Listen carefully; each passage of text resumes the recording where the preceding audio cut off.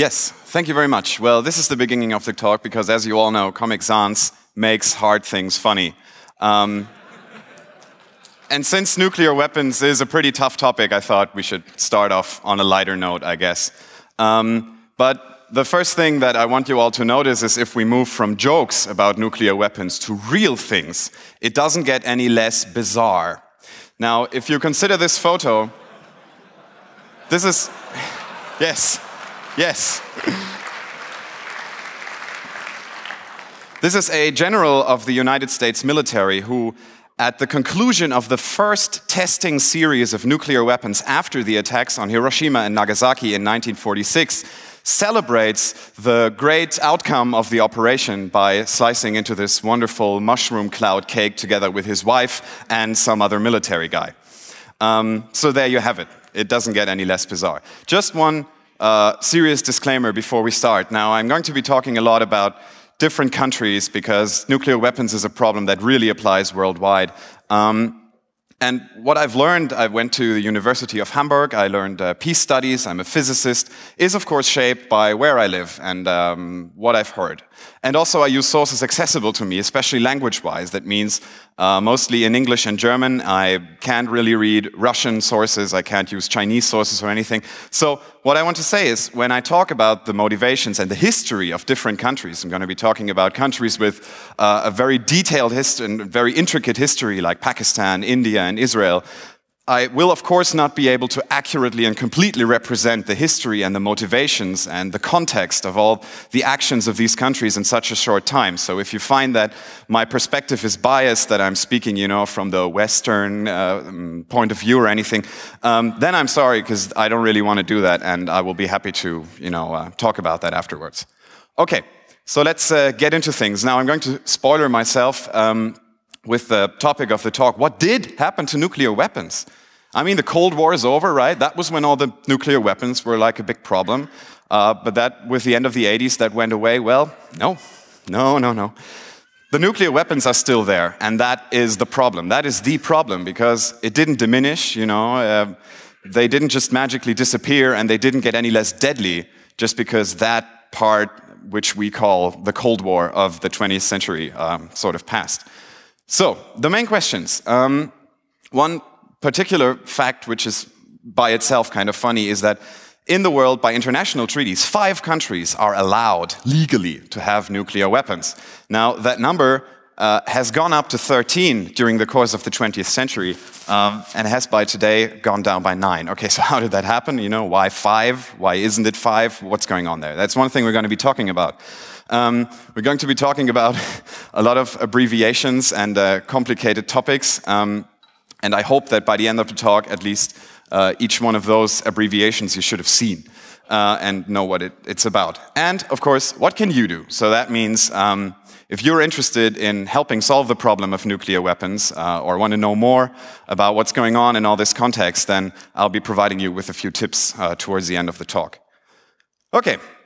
Now, nuclear weapons are made of some stuff, and there are some special materials that uh, have to be used in order for a nuclear weapon to work. One of these is uranium, which uh, is a heavy metal um, element that is naturally found in the earth, in minerals. Um, but in order for it to be useful for um, constructing nuclear weapons, you need to make a process called enrichment um, work with it. Uh, and that means that the, uh, the ratio of the isotopes, so, the, so let's say the different parts of different types of uranium that you find when you take it out of the earth. Uh, you have to change that, and you have to change it dramatically, like you see in the natural uh, uranium. I just see that I think I got the numbers wrong on the left one, didn't I? Oh well, okay.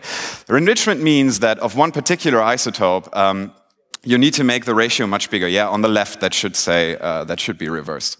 Um, no, no, no, it shouldn't. Okay, I'll, I'll just move to the next slide, I guess.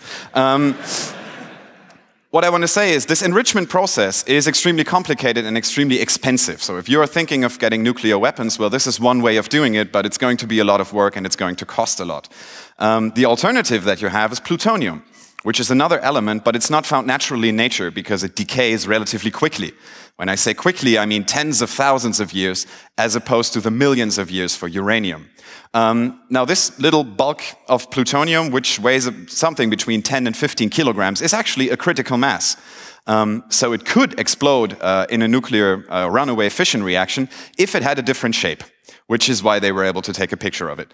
Um, if this was a ball, if it was a ball, it would be a critical mass and it would explode, but in the shape of a ring, uh, it's not dangerous. So this uh, small, well, it is dangerous, I'm sorry.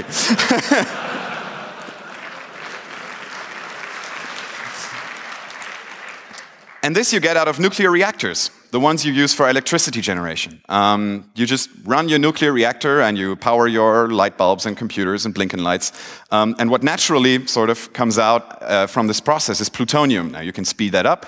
You can put in some extra uranium to get out some extra plutonium, but basically you just need a, a normal um, nuclear reactor. And that, in comparison to the uranium enrichment, is something which is relatively easy to do, as we're going to be seeing.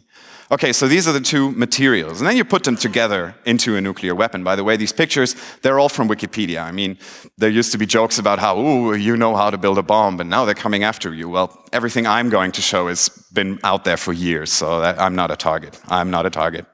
Um, so the most basic design is called the gun type, which is where you have two subcritical masses. So that means bulks of the nuclear material that are too little to explode by themselves, and you put them together.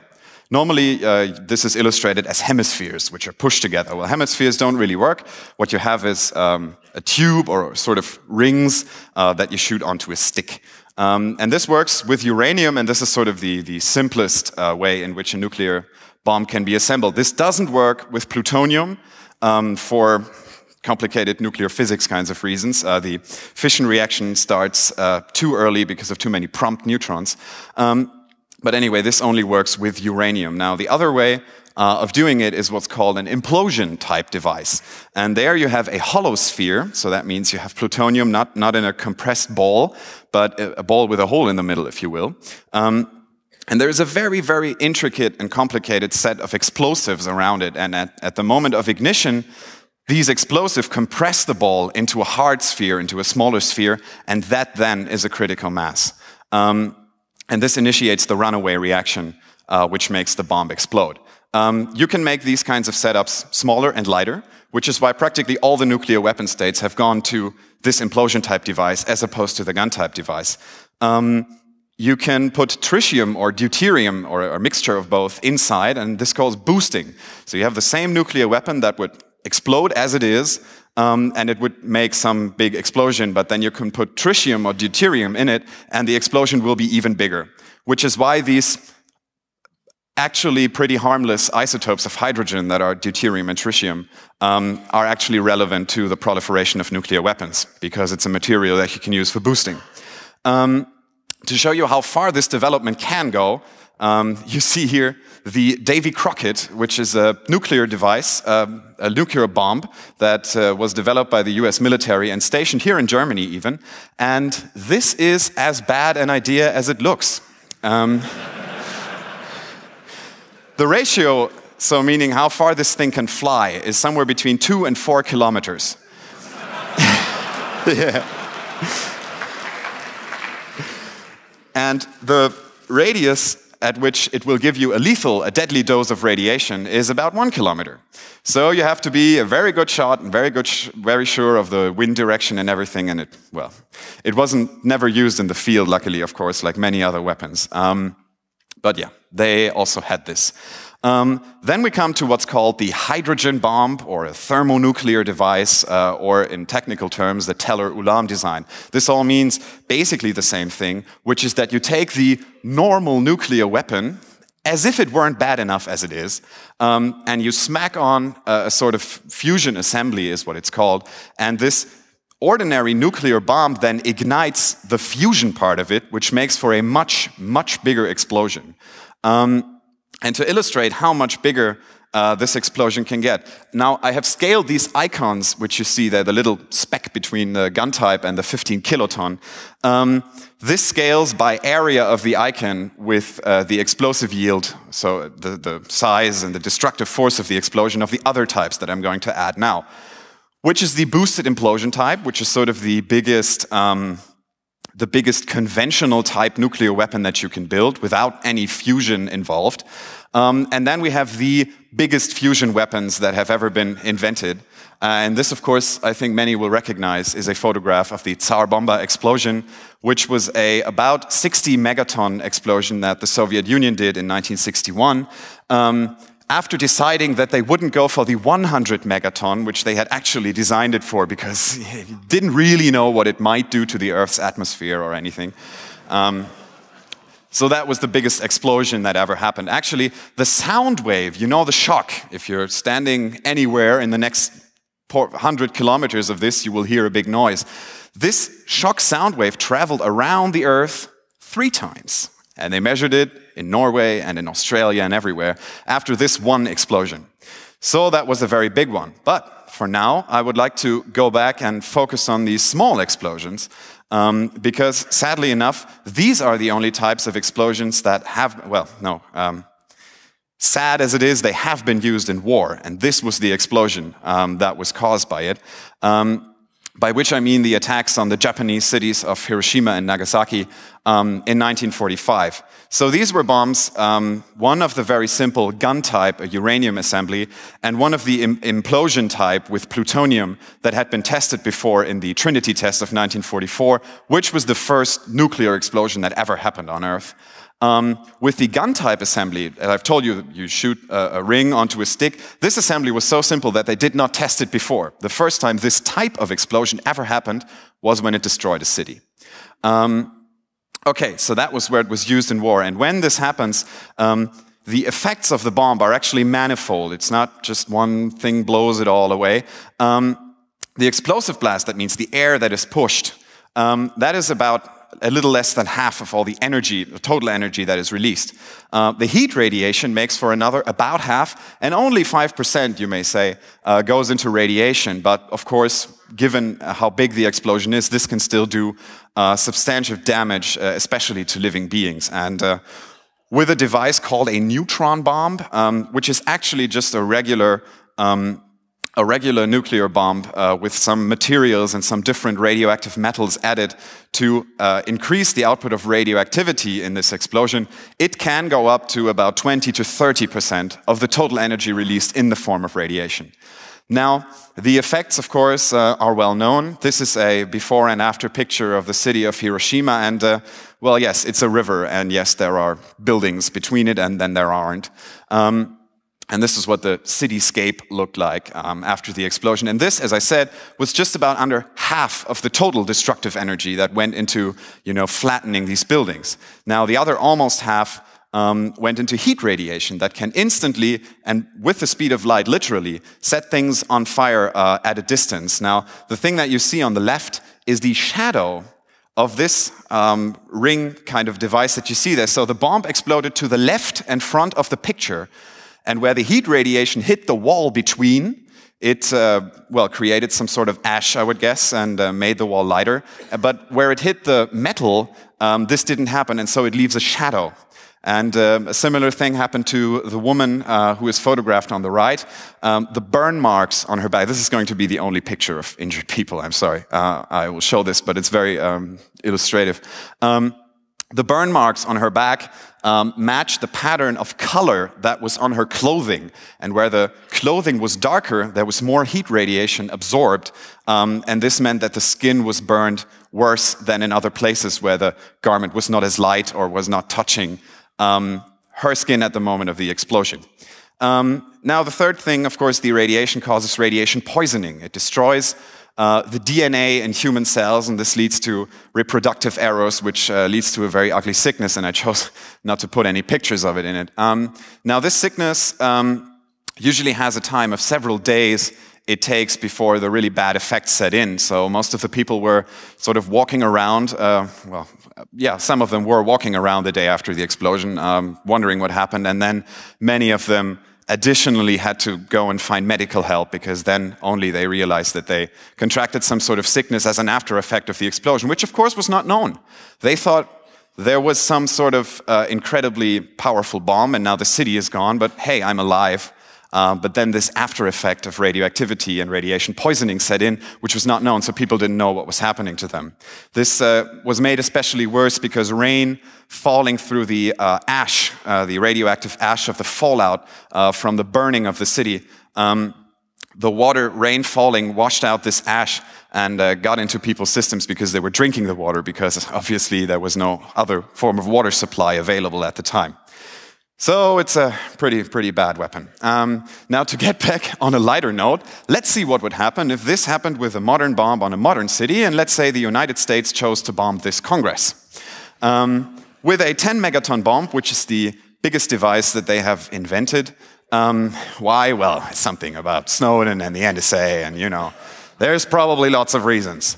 Um, now, this may sound funny, but think about it. With drone strikes, this is about the way it works, right? Eh, there's some guy and there's some people next to him, but ah, bomb them anyway.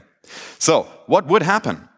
Um, we see here a map of the city of Hamburg, and uh, this is a wonderful tool called Nuke Map. I've put the address there, and you can calculate.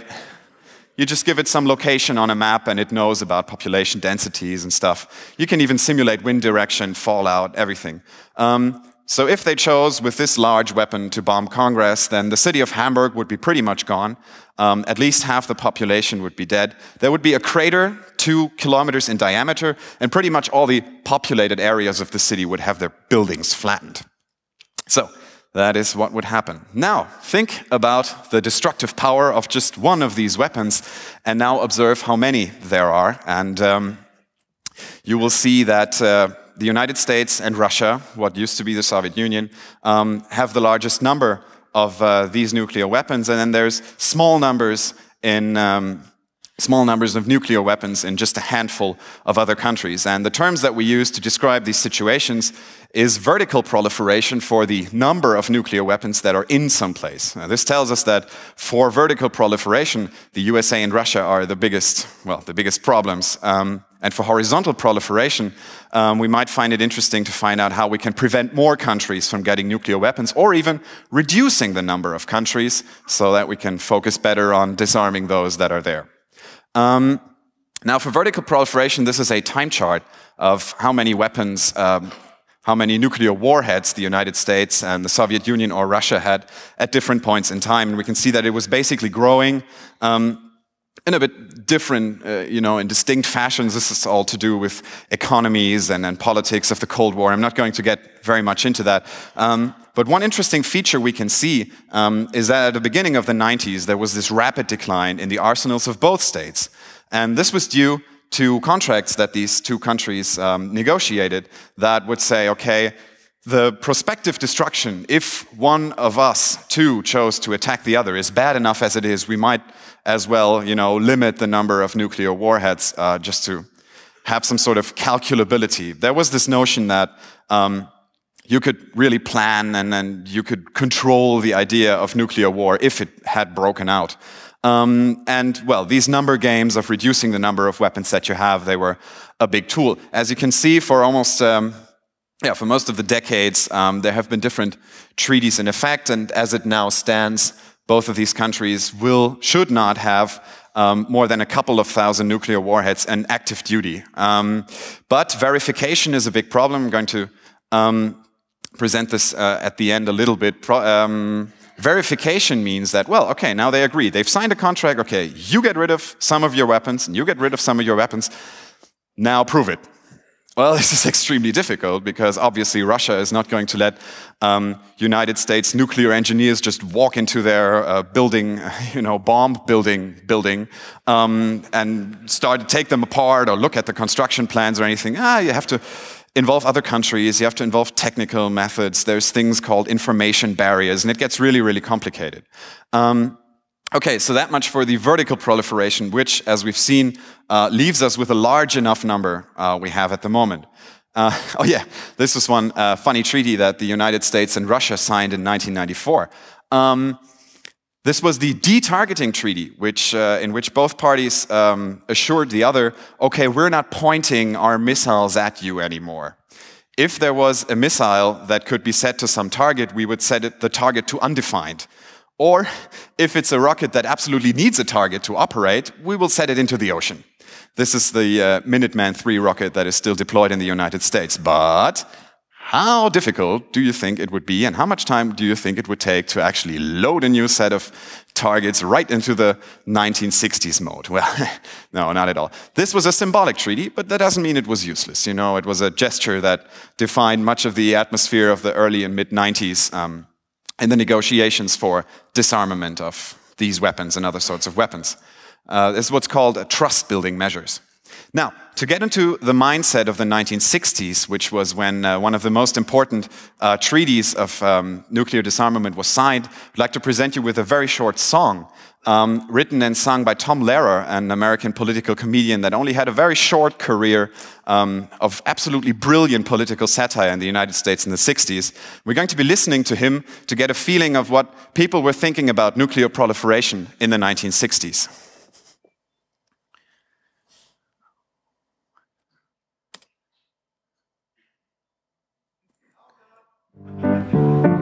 First we got the bomb, and that was good, cause we love peace and motherhood. Then Russia got the bomb, but that's okay, cause the balance of power's maintained that way. Who's next? France got the bomb, but don't you grieve, cause they're on our side, I believe.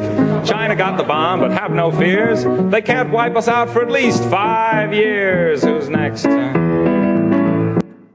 So uh, I'll just pause here for a second. Um, he's asking who's next, and um, the things that he, he's describing uh, without the mention of the United Kingdom, which apparently didn't matter much at all to him.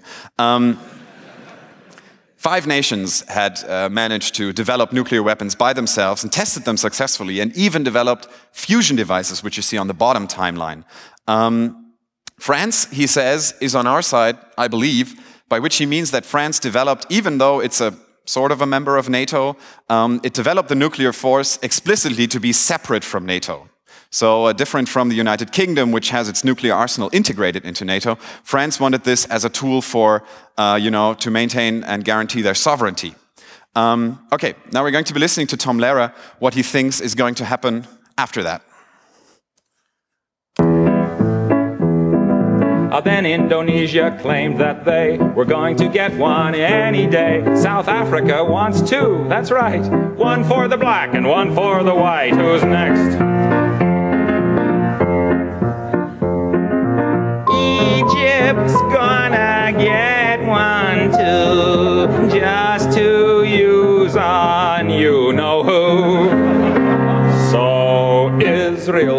getting tense, wants one in self-defense. The Lord is our shepherd, says the psalm, but just in case, we better get a bomb. Who's next? Luxembourg is next to go, and who knows, maybe Monaco. We'll try to stay serene and calm when Alabama gets the bomb. Who's next? Who's next? Who's next? Who's next? So that was that. Apparently, yes. Thank you, Tom.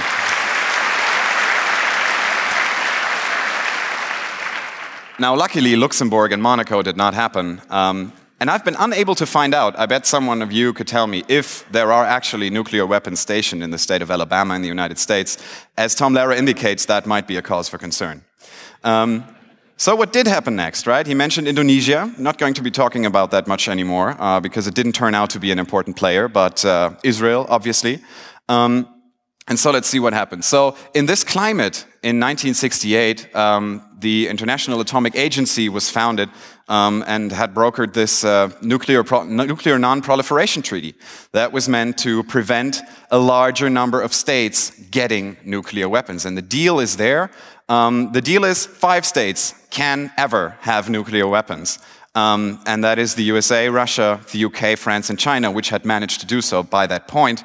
Um, everyone else can never have nuclear weapons, but they can get nuclear reactors, you know, for power generation and the economy and everything. Um, and there will be safeguards, which means that the IAEA will maintain a presence and will make inspections in order to watch that uh, there is no nuclear material, you know, uh, uh, um, made pushed to the side for nuclear weapons construction, which in the end did happen, though, uh, which is why I've outlined that point in red. Non nuclear weapon states do get nuclear energy technology, and that is a problem for nuclear weapons proliferation. It's just a fact. Um, okay, as you see, uh, the Big Five and a large number of other states actually find this a great deal. Five states in the world currently do not. And we're going to be looking at who these five states are and what happened there.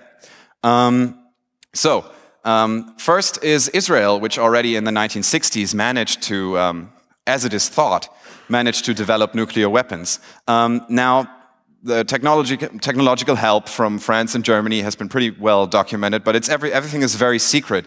And Israel has never admitted to possessing nuclear weapons. It's sort of an open secret in the community. It, it gets very, very awkward at diplomatic meetings because there will be like, okay, the nuclear weapon states, and everybody looks at Israel, and Israel is like, what?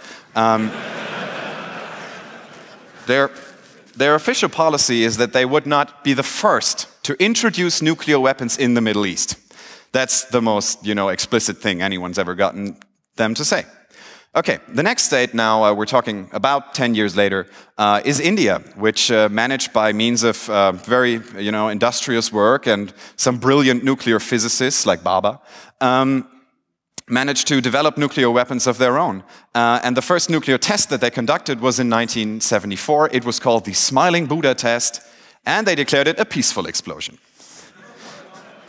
okay, this led, because they were in breach of the Nuclear Non-Proliferation Treaty, actually to a nuclear embargo that should mean that no other state in the world that has signed the treaty could sell any nuclear power technology to India. But in the course of the decades, it turned out that India is too interesting a market for power companies um, to actually be bound by things like international contracts. And so now, um, United States and other um, companies and uh, economic actors are happily selling nuclear technology to India. India is very explicit in saying that the non-proliferation treaty is unfair because some states get to have nuclear weapons and other states can never have nuclear weapons. And it would join the contract if they were awarded the status of the sixth nuclear power in the world. Um, okay, Pakistan. Um, they were motivated by conflict and by the breakup of their country, which ended in the, uh, in the founding of uh, Bangladesh and very uh, very troublesome history. They also managed with some ingenuity of their own, especially by this gentleman, a metallurgist and nuclear physicist called Abdul Qadir Khan, um, to develop nuclear weapons. But he had big help uh, from uh, a Urenco, which is a company that makes you know nuclear power technology in the Netherlands, where he worked legally and looked at some documents and took some documents home and maybe shipped some materials home. And in the end, Pakistan was in possession of a nuclear bomb through totally you know peaceful nuclear power, uh, which where he had managed to circumvent uh, the safeguards or where there had been lax or even no safeguards uh, in place. Um, the a funny thing is, Abdul Qadir Khan has been suspected of having helped other countries, uh, you know, try and implement a nuclear weapons program of their own, um, Iraq, Libya, um, North Korea. And so by some countries, he is considered to be, you know, a criminal because he has been proliferating nuclear weapons throughout the world. In Pakistan, though, he is considered an honored citizen and he has received high honors um, because they see it as an essential tool of uh, maintaining and, and uh, securing the sovereignty of their state. Um, now, North Korea has also managed, as the last country um, in, historically, um, to develop nuclear weapons. Uh, they are guided by their uh, ideology of self-reliance, you know, of never relying on anybody or any actor other than themselves. And this, of course, means that to have very uh, powerful weapons under your control is a useful thing. Again, here, um, Abdul Qadir Khan was implicated in having helped nuclear um, development in North Korea. The first uh, nuclear test that North Korea conducted was in 2006, and that was actually the first test that had happened then in eight years. And we're going to be seeing that that actually was a big deal. So, uh, here's the updated uh, conversation about the um, Nuclear Non-Proliferation Treaty, where you see what the countries are thinking of all this. India doesn't like it. Pakistan agrees with India, the only thing where they do. Um, South Sudan, um, they have nothing to do with nuclear weapons at all. They're just so new, they haven't gotten around to signing it. Um, okay, so this was the, um, yeah, and historically, there have been other cases. South Africa was also mentioned in the song by Tom Lehrer, and they actually were seeking to develop nuclear weapons. Um, they were motivated more by, you know, securing a strategic political position, which uh, is also manifested in the fact that they developed these bulky uh, um, gun-type devices with uranium, uranium which they had acquired by agreements with Israel. Um, and there have been no known, there's a small caveat which you're going to see later, there have been no nuclear tests conducted by South Africa as far as we know. Um, and luckily, the political shift that set in in South Africa um, at the end of the apartheid regime at the beginning of the 90s led to them abandoning their um, nuclear ambitions, submitting to IAEA safeguards, joining the Non-Proliferation Treaty and ending, you know, their nuclear episode. And they're the first and only country to really have done so in this way so far. Um, so that's good. Go South Africa.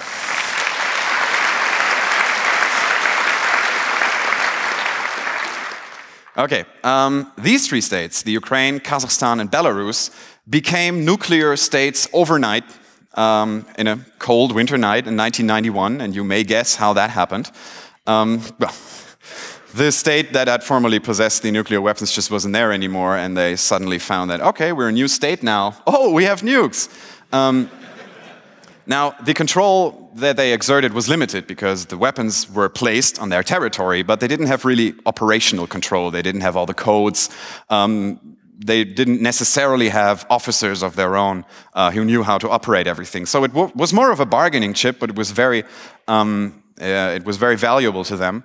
And in an enormous act of uh, negotiation, um, it was managed to, um, to convince them to give up these nuclear weapons, to ship them back to Russia, um, in exchange for money and guarantees of security, uh, meaning, for example, that Russia, as the former hegemonial power of the Soviet Union, would never invade any of these states. That was 20 years ago, and Ukraine is not amused. Okay, um, some other cases. Um, the, the non-proliferation treaty just took, you know, a, a point in time to define for whom it is okay to have nuclear weapons and for whom it isn't. And other states that might, you know, technologically have been um, able to develop nuclear weapons of their own. You can find some lists where some names are floating around. Sweden, surprisingly, is uh, mentioned a couple of times. Germany, Japan, but then they had uh, political incentives not to do that. Um, but some states do think it is unfair that just at some point in time it was okay to develop nuclear weapons and now it isn't for anyone else. Um, They've even had military force used against them. On the right, we see satellite pictures. The upper one is from the 1980s in Iraq, and the lower one is from 2006 in Syria, where the Israeli military bombed um, these, uh, these installations for fear of there being a production of nuclear weapons ongoing. Um, and other states that have listed here, you know, have had political pressure um, put on them um, and prevented them from becoming nuclear states, which in the long run I, I, think is a good idea because the less nuclear states we have, the better. But especially um, looking at the countries that did succeed, even though they were in breach of the non-proliferation treaty, like uh, India, Pakistan, um, this leads to a lot of resentment between certain groups of countries, especially uh, between some Arab countries and Israel. Okay, so uh, yeah, this is one, one big fuck up of the West now, of Europe. Um, sharing is caring, as we know and the United States is sharing their nuclear weapons with us in a program called nuclear sharing.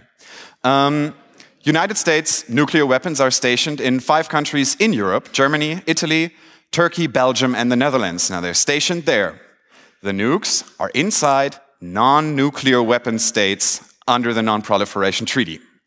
Isn't that sort of breaching the Non Proliferation Treaty? Well, I think yes, and most sensible people think that this is a breach of the treaty, and the United States and NATO should not be doing that. They have a position on this. If you ask them, how can you be stationing nuclear weapons in Germany?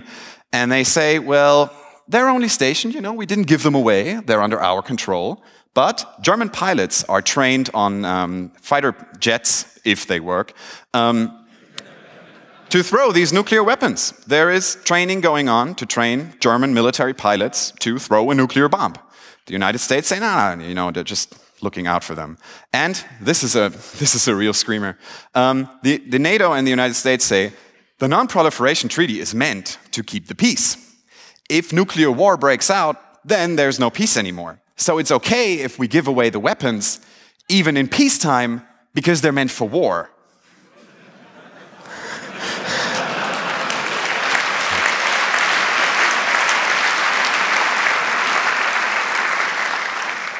Yes, there's no better explanation.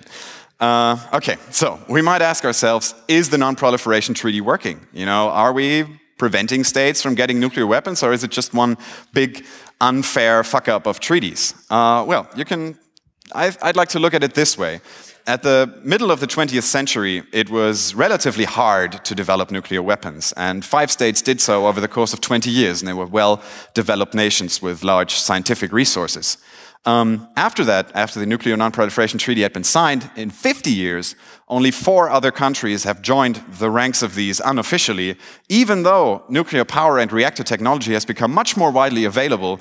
And in terms of the spread of knowledge about all these systems and the weapons, it has actually become easier to attain nuclear weapons. So I guess we can say um, that the Non-Proliferation Treaty is sort of working for most of us. Um, let's get to another topic uh, which is nuclear testing. You take a bomb that you have developed and you're so proud of the bomb, you want to show everybody how well it works, and you explode it somewhere. And you take data and you, you being all sciency about it. Um, and some states have gotten some really horrible ideas about that. This is a picture of the US military. They used to do this kind of thing in the 1950s. Um, but other states have also had some, some very bad ideas about nuclear testing, like France. Take a nice holiday paradise Pacific atoll and decide to bomb the shit out of it. that poor thing. Okay, um, so nuclear testing is obviously destructive, disruptive, and we're going to be looking about looking at what it does. Um, Worldwide nuclear testing. This is a chart of how many nuclear test explosions have been done by what country over the course of the century. And there's two main features, I think, of this graph uh, that we can focus at and uh, try to find out what's happening there. Um, again, we see that the United States and the Soviet Union or Russia uh, make up most of the problem, um, most of the testing. Um, and then we see this gap at the end of the 50s. What happened there?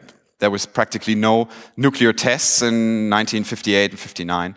Um, and then they sort of end at the beginning of the 90s. You know, there is some tests, but compared to 10 or 20 years before, nuclear testing has all but stopped. Um, and we're going to be looking at why this happened. Now, two treaties have been crucial in um, shaping this set of affairs. That is the Partial Test Ban Treaty of 1963 and the Comprehensive Test Ban Treaty of 1996 in very different situations, of course, one during the height of the Cold War and the other after it had ended. Now, the Partial Test Ban Treaty uh, prohibits nuclear test explosions in the atmosphere, in the open air, in outer space, they did that, um, and underwater, um, which kind of looked nicer, I guess, or something. Um, so this is not allowed anymore, and most of the states and most of the important players signed this treaty. France uh, and China have never signed it, and they have conducted atmospheric and underwater nuclear tests after the 1960s, but they mostly stopped in the 80s uh, and 90s. France was the last, actually, the last of the um, five nuclear weapon states, the five allowed nuclear weapon states to make tests, and that was in 1998. North Korea has also not signed, but overall, it was a pretty uh, effective treaty. Why did they sign this treaty? Well, isotopes, that means uh, types of nuclear atoms um, that are formed in nuclear explosions and only in nuclear explosions, um, have been released into the atmosphere in large numbers because there was a lot of testing going on. And this released nuclear materials into the atmosphere, and of course, by currents and rain and everything, they managed to spread all around the world. Um, and two uh, were especially important that is cesium 137 and strontium 90.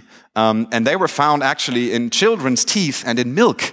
And uh, this happened in the 50s and 60s in the United States. They asked school children to send in their milk teeth, the first teeth that fell out, uh, you know, when they were growing up, uh, and send them in for science in order to find out if nuclear testing actually affected them. And the result was yes, yes. Um, children that lived in states where nuclear testing was happening or was nearby had higher levels of these isotopes in their system. And I want to point you to um, the article, uh, you can find it there. It's a publication called The Appendix. Dear Science, it says. My name is Kathy. That's just, that's just so sweet. Okay, but it's macabre, of course. They were asked to send in, you know, parts of their bodies to see how radioactive they were. Um, okay, this is levels now of um, these isotopes in the, uh, in the atmosphere. And you can see in the left graph that the levels were steadily rising. The, um, the green curve is in Austria, so it's the northern hemisphere, and the southern, uh, the, the, red curve is the southern hemisphere, where it took a little bit longer to, um, to spread around the globe because much of the testing was done on the northern hemisphere. Um, so we can see that, well, okay, the axis is actually not very fairly put. You can see that um, this is the natural level of about, um, uh, of about 100, uh, what do we have there actually? Megacuries. Yeah, it's a unit for radioactivity. Um, and it rose to almost double the natural levels on the northern hemisphere uh, in the 1960s. And this concerned politicians and concerned the public. And so there was talk of, you know, stopping nuclear explosions in the atmosphere. And that was what happened. Now, I'd like to point you to the graph on the right, um, which you will notice is marked in French, and this is for a very good reason. Um, there also we see levels of radioactivity rising over the course of time and peaking in the 1960s before then falling off over a longer period of time. Now, what is this data? Well, a French nuclear uh, research institution in Bordeaux put bottles of red wine in a gamma spectrometer and they looked for lines of cesium-137, the signature um, of this isotope. Now, this specific isotope, as I said, not does not naturally occur on Earth, but only when nuclear explosions happen. Uh, so they actually devised uh, a way to find out for some bottle of wine if it could credibly come from before the 50s or not. Because if there's any trace of cesium-137 in it, it must have been, you know, closed in the 50s or later. Um, and so they did that, and this, of course, affected. This is useful for art history, you know, finding out when a picture was sealed or something. For many kinds of things, you can just um, you can just look at stuff in terms of did it happen before or after the start of nuclear testing. Um, now, the Comprehensive Test Ban Treaty is a treaty with a very simple purpose, and it's rather short, and it says don't cause nuclear explosions. Don't call them peaceful, like India did. don't try to hide it, just don't.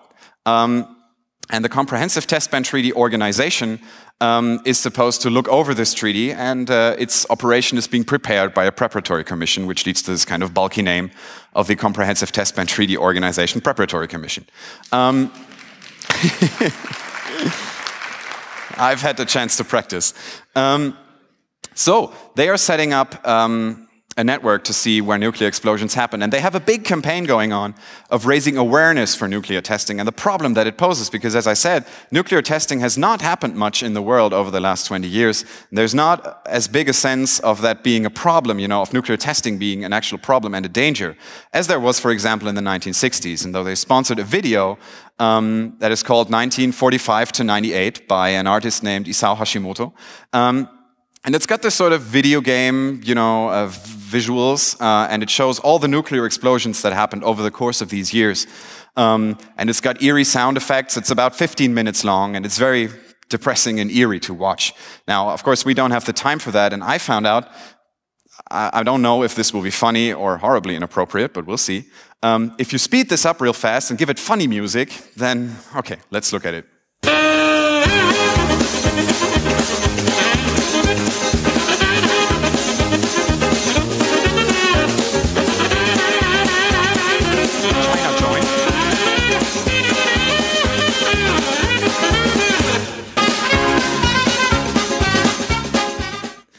Okay. Um.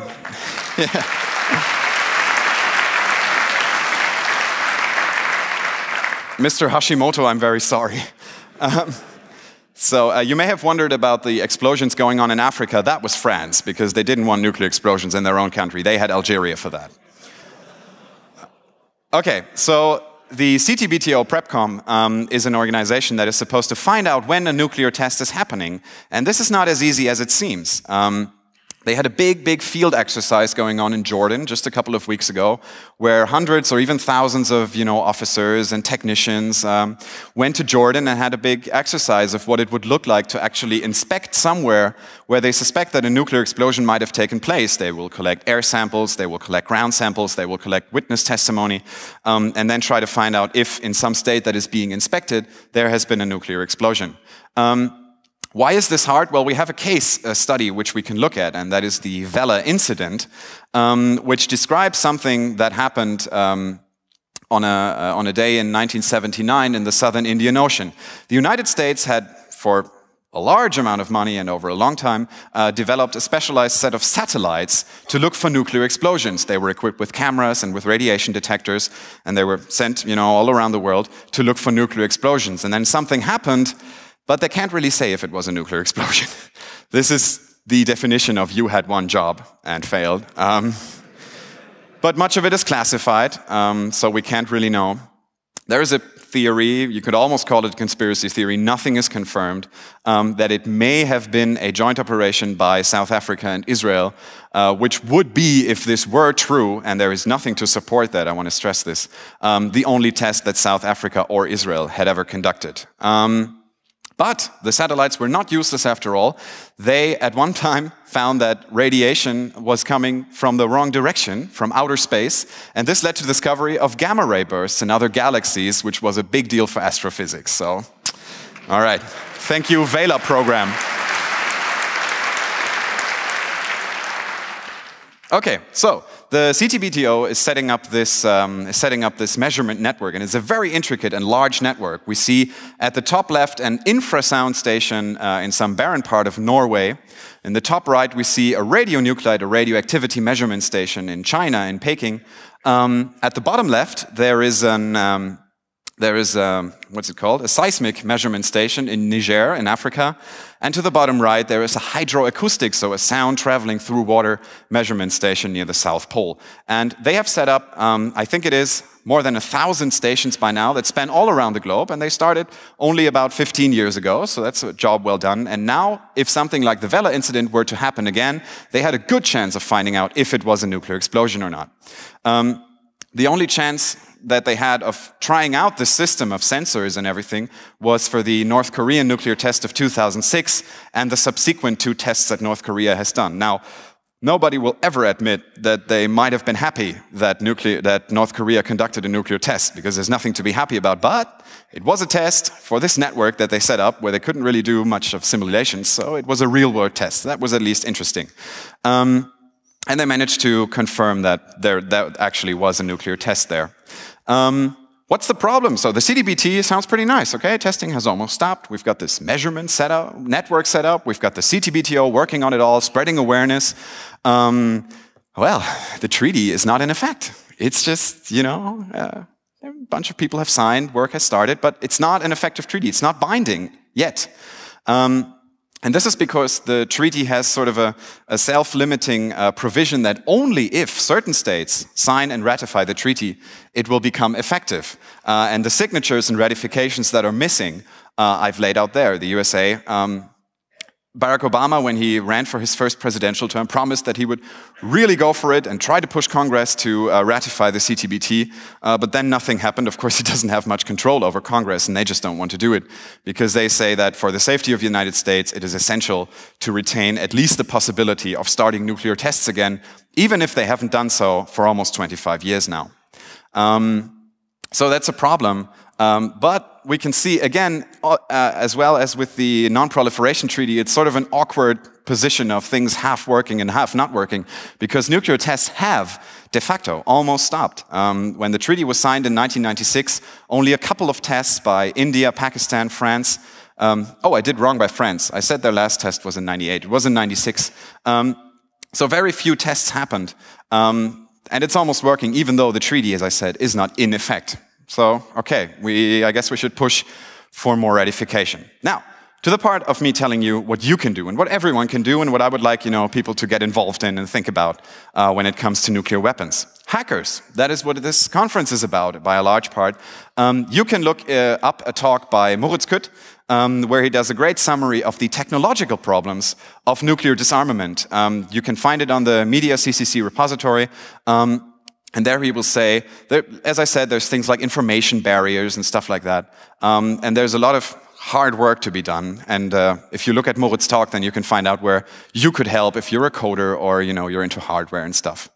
Um, okay, this slide I've been looking forward to for months since I thought of that talk. Um, if you are a citizen of some specific country, then this might help you, you know, choose a path where you'd like to push your government to do something. I'm very interested. Is there someone from Pakistan or India in the audience? Okay, pity. I don't see anybody. But if you're listening in, um, you could use, you know, your democratic pressure to um, to push for CTBT signature. No, of course, yeah, North Korea. This is a bit awkward. I wouldn't want them to push their government for anything. and I actually I don't even want to joke about it. So. Um, Okay, but even citizens, you know, of these countries here in Europe, we should get rid of the nuclear sharing program of NATO. And uh,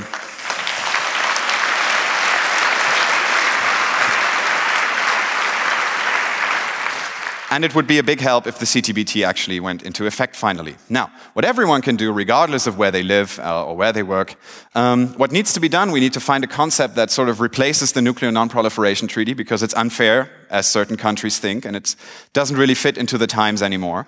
Um, the CTBTO, this wonderful organization helping to set up this network, needs help, uh, especially with publicity because they're not very well known, but they're doing great work. Um, you can do that. You can find them on Twitter. They put out a lot of great stuff.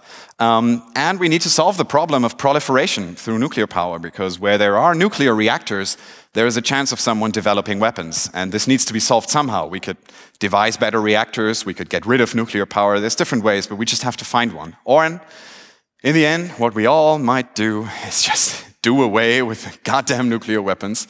Um, this may be a long way off, but I hope we'll get there. And thank you very much for your attention.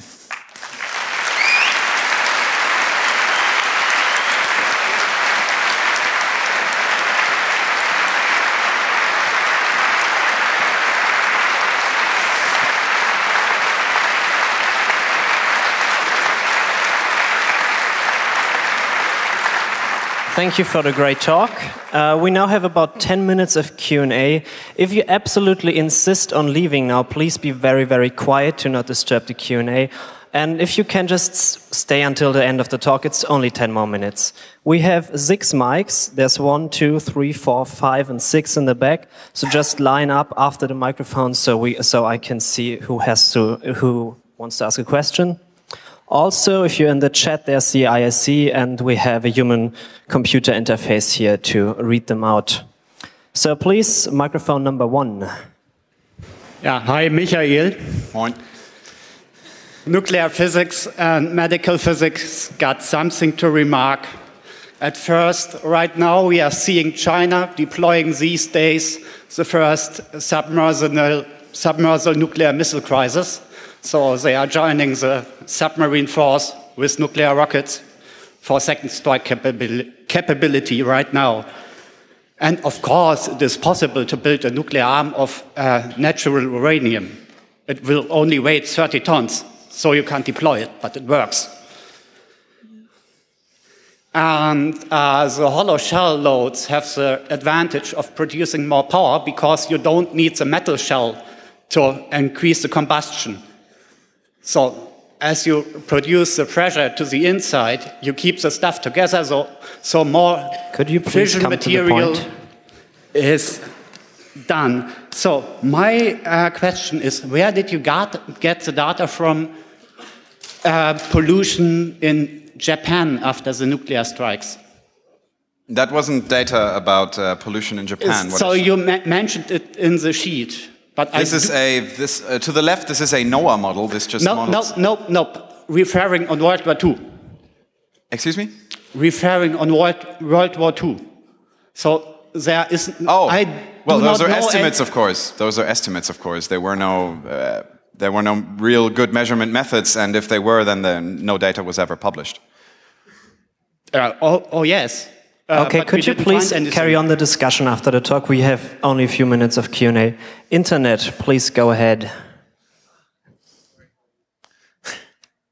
Internet is slow today. Yeah, sorry. Um, does the comprehensive test ban apply to private persons? No, uh, I don't think so. But uh, it's it's geared towards state actors. You know, it's not a bad Yeah. question. But uh, most of the countries have laws that say you can't cause a nuclear explosion. Um, You can look this up in the German uh, Strafgesetzbuch, where it says, das Herbeiführen einer nuklearen Explosion wird mit einer Freiheitsstrafe von nicht weniger als fünf Jahren bestraft.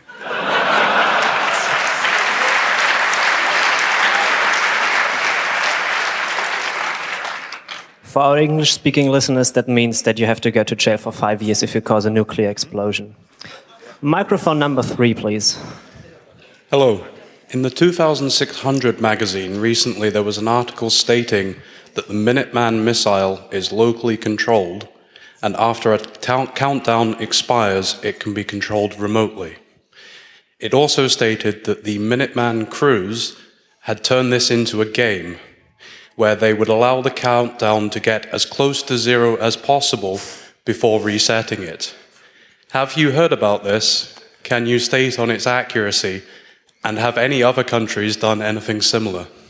Uh, I'm not aware of this report, but there has been a report that was widely publicized, uh, John Oliver's, uh, you know, television show, where they talked about bad things happening in the United States uh, nuclear force. There was cheating going on during safety tests and things like this. So um, it wouldn't surprise me very much. There, during the Cold War, they developed this mindset of, you know, it's, it's all just big numbers. You cannot imagine a million dead people if you push one button. So you just kind of go crazy and think it's a game or something. That's what happens. Number four, please. Yes, I have a rather short question. Don't you think we need nuclear weapons now to deter uh, Vladimir Putin from, from doing nasty things? Well, no, because Russia and the United States are both nuclear powers, and there is not much sense in threatening someone with the use of nuclear force ever, especially Putin, if they Putin have does. theirs of their own. Putin does. Well, yes, but so do many others, and I don't want the war escalating, so let's not threaten anyone with that.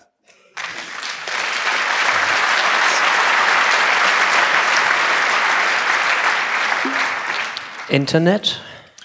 In Hashimoto Isao's uh, video, you can see month-long pauses of no nuclear tests at all. Only when someone starts again, other countries immediately, immediately react by tests of their own. Um, um, is there some kind of, of ping pong going on? Good question. Um, I guess, well, some of this may be, you know, the inaccuracy of the records of when exactly the tests did happen, though that is actually pretty well documented. No, I would say the testing mostly happened in, um, in campaigns. They would do a shot of five nuclear tests over, let's say, a week, uh, and then there would be a pause of several um, of several weeks or months before the next campaign started.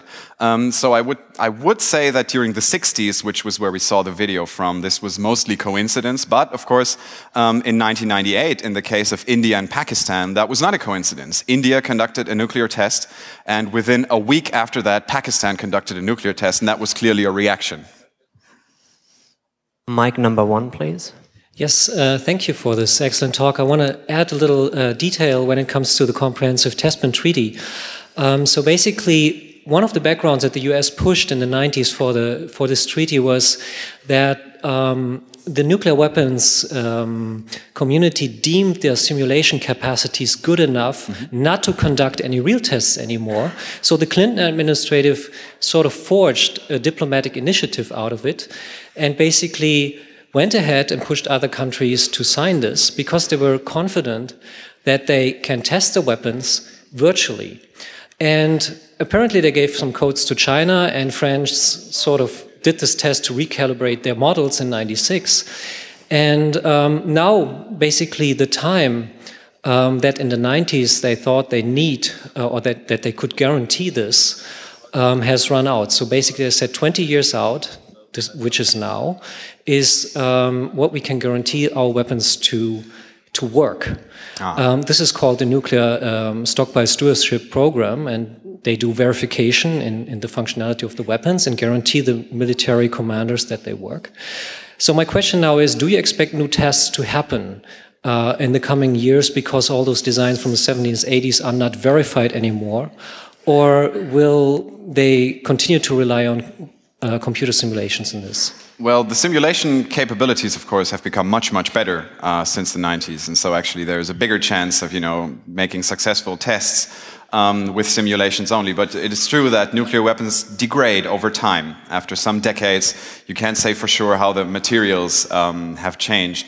So you're not sure if they work. Well, I just hope that the political pressure and the worldwide political situation is such that a renewed nuclear test by one of the big actors like Russia or the United States would carry such a public outrage that they dare not just make another test again. It may be legal if they wanted to do that, but I hope that the public outcry uh, that they fear would be so bad they're not going to try. Mic number two, and make it quick, please. Uh, quick heads up. Officially, Alabama does not store or produce nuclear weapons. And Ah, uh, a question. Maybe you know, uh, are there any movements against semi nuclear weapons or weapons that don't actually try to uh, cause a chain reaction but use nuclear shit stored inside them to produce heat in order to explode uh, like tank engines and stuff like that, like the UN uses in Afghanistan? Well, you have um, you have uh, depleted uranium ammunition, of course, where they use uranium just because it's a very hard Yeah. metal, um, and that causes radiological problems for the population. There's rises in cases of cancer and radiation. No, I meant if they try to conceal If that in any way. conceal. Like no, to to uh, if there are any movements against these types of ammunition because they also leave fallout. Well, there is the idea of a fissile material cutoff treaty. That would mean that all the nuclear uh, weapons capable material like uranium and plutonium in the world have to be controlled, and you have to really write down how much you have and where it is and have safeguards in place. Um, so I guess that would encompass uh, this type of material so that it couldn't get into the wrong hands and be made into weapons. So let's hope also, beside the CTBT being ratified, that the fissile material cutoff treaty can really happen. Okay, we are out of time. Please, once again, thank Michael.